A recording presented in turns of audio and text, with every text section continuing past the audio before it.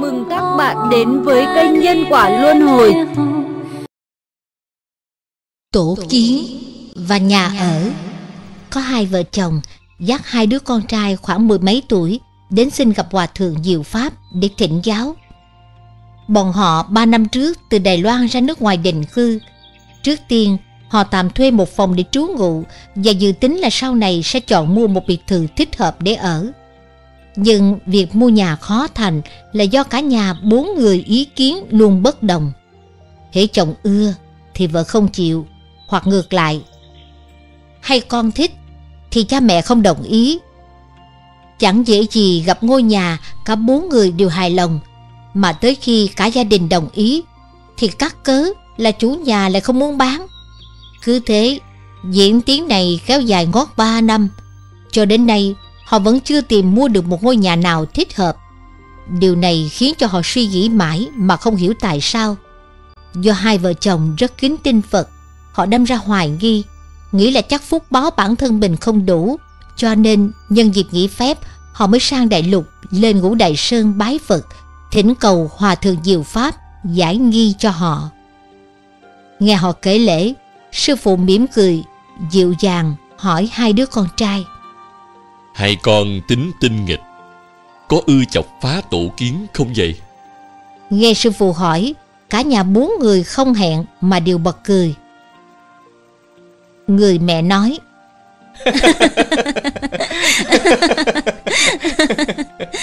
Dạ, hai cháu hồi nhỏ rất ưa phá tổ kiến. Nói là muốn nghiên cứu cấu tạo tổ kiến, còn khen trong tổ thiết kế rất là hay. Có cung điện cho kiến chúa, có danh trại oai nghiêm cho kiến thợ, còn có rất nhiều thực phẩm kho lẫm. Dạ, hai cháu nghiên cứu chơi nghịch say mê đến quên cả ăn uống. sư phụ nói, Hai cháu này ưa chọc phá tổ kiến Hủy đi bao ngôi nhà lũ kiến Thiên gian dạng khổ Tạo dựng nên Còn phá hoại Làm tiêu tan số thực phẩm suốt bao năm dài lũ kiến Đi khắp nơi tha về tích trữ Việc làm của hai cháu đã khiến chúng mất chỗ an thân, An nghỉ.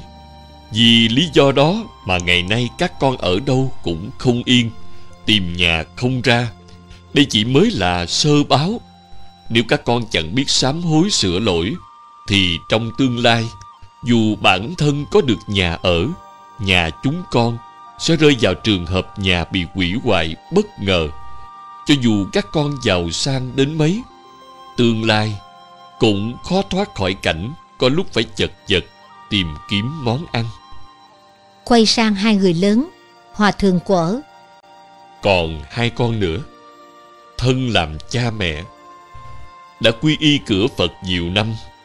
Vì sao có thể đứng yên nhìn Mặc tình con mình làm việc tổn đức như thế Mà không ngăn cấm Khuyên dạy chúng?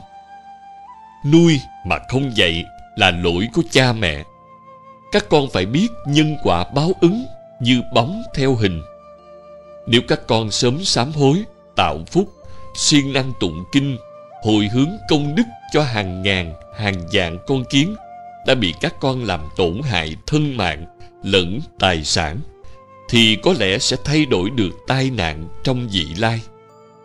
Hiểu rõ chưa? hai vợ chồng được hòa thượng khai thị xong, xúc động, ăn năn sám hối thưa. Sư phụ, đệ tử đã biết lỗi. Mặc dù quy y nhiều năm, cứ tưởng là chúng con biết ăn chay niệm Phật. Như vậy là đủ rồi. Không ngờ, chuyện lại nghiêm trọng đến như vậy. Sau khi chúng con về, cả nhà sẽ sám hối trước Phật và tụng kinh địa tạng. Chú Đại Bi hồi hướng công đức đến cho lũ kiến. Như vậy có được không thầy? Lành thay, lành thay. Được rồi, các con lúc nào cũng phải ghi nhớ kỹ. Tất cả chúng sinh đều có khả năng thành phật. Cho nên, không được xem thường loài vật, không được tùy tiện làm hại chúng sinh.